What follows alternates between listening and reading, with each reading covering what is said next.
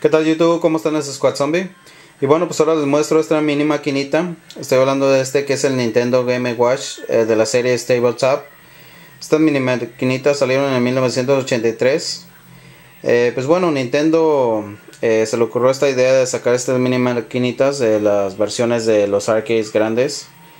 en 1983, pero bueno, tomaron de idea, de ejemplo, otra compañía de videojuegos que fue Coleco que en 1981 sacó también unos uh, tabletop de este, eh, de este tamaño también. Pero bueno, este, esta clase de, de mini maquinitas de eh, Coleco fueron electrónicas, en el que bueno, se ocupaban baterías para ver la pantalla. En el que sacaron también series como eh, pidiendo la licencia a Nintendo de sacar una que fue de Donkey Kong, otra de Pac-Man, otra de Sixon de, de Sega y bueno, ya sacaron este alrededor de unas eh, de, de 4 a 5 mini maquinitas por, eh, por, la marca Coleco. Y bueno, Nintendo se le ocurrió esta idea también, cosa que también se fue dando en otras compañías que también sacaron los uh, mini maquinitas de este tipo. Y bueno, aunque no se no les fue tan bien, pero se vendieron. Ahorita estas mini maquinitas vienen muy solicitadas para, para coleccionar por los coleccionistas. Y bueno, me hice de esta. Esta es de Popeye. Eh, en 1983 eh, salió esta. Junto con otras cuatro que fue una de Donkey Kong Jr., otra que fue de Snoopy y otra que fue de Mario, la fábrica de cemento. Eh, fueron alrededor de cuatro de este tipo. Pues bueno, pues a Nintendo le fue medio bien con estas, pero si se, como ahorita les digo, se, ahorita más bien este, se dedican a, a puro coleccionar este tipo de mini maquinitas. Eh, pues bueno, pues comencemos con el repaso de esta. Eh, pues las otras, como les digo, de Coleco fueron electrónicas. La pantalla era como tipo electrónica. Entonces esta es algo diferente. Por eso le llaman Game Watch Tabletop porque tiene una similitud a los Game Watch de, de esas eh, de manuales, de esos portátiles. Y bueno, pues comencemos a mostrar esta parte. Aquí tenemos el logo de Nintendo el logo de Game Watch Tabletop. Aquí tenemos una pequeña palanquita que es hacia los lados, no es, no es ni hacia arriba ni hacia abajo, hacia los lados. El botón de, golpe, de punch. Aquí tenemos como todo lo clásico de las todas las Game Watch que, que viene juego A y juego B.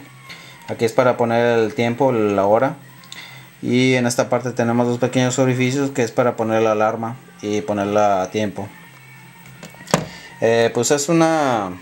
Son muy pequeñas. Yo, yo creí que eran algo más grandes, pero son pequeñas en esta parte.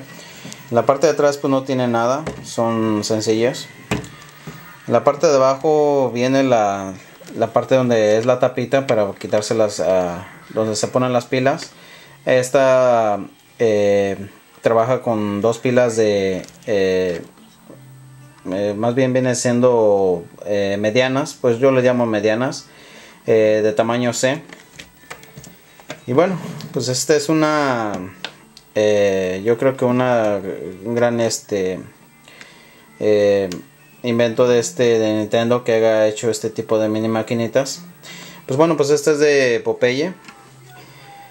pues algo algo muy raro que por ejemplo este no es una es, una mini maquinita con un truco. Por ejemplo en esta parte de aquí tiene este, esto que se ve aquí es un espejo.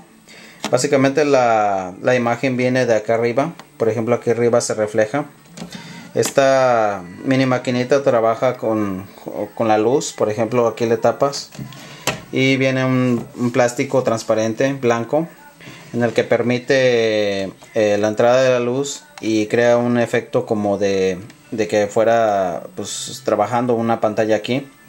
Eh, pues se dice que esta fue las primeras mini maquinitas a colores eh, que trabajaban con, videojuegos así de este tipo. Entonces este el espejo está más o menos a 50 grados o 45 en el que te, te hace ver como si fuera una pantalla pero básicamente el reflejo viene aquí se refleja eh, se refleja aquí y pues este te da la, la visión de que de que este es una pantalla algo muy ingenioso en Nintendo en hacer esto porque la, la imagen viene de acá arriba. Y bueno, pues este es el juego de, de Popeye. Obviamente que el juego se trata de que, por ejemplo, eh, pelea Popeye con Bluto y tiene que rescatar a Oliva que está en la parte de arriba. Eh, pues todas estas mini maquinitas tienen el sonido, se escucha muy bien, eh, trabaja muy bien. Por ejemplo, el juego A, pues es este, se podría decir medio o, o fácil. Ya el juego B es algo más difícil. Entonces, pues vamos a apretarle aquí a ver si da el juego.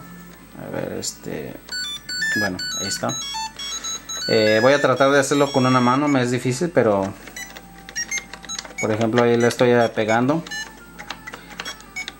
entonces por ejemplo está de un lado el agua y de este lado el agua entonces me puede aventar. Entonces eh, pelear hacia, hacia los lados.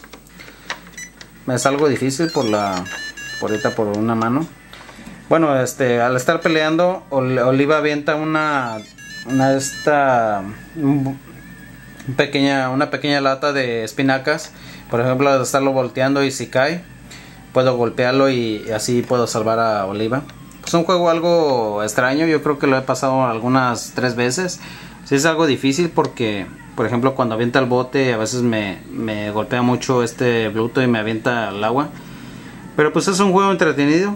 Eh, la alarma también suena, por ejemplo, si se da caso en aquellos tiempos era una una innovación de este tipo de, consolitas que por ejemplo le ponías el reloj y eh, te daba la hora, era consola, por eso le pusieron Game Watch, porque es juego y reloj a la vez. Pues una innovación de este tipo en los en los 80s.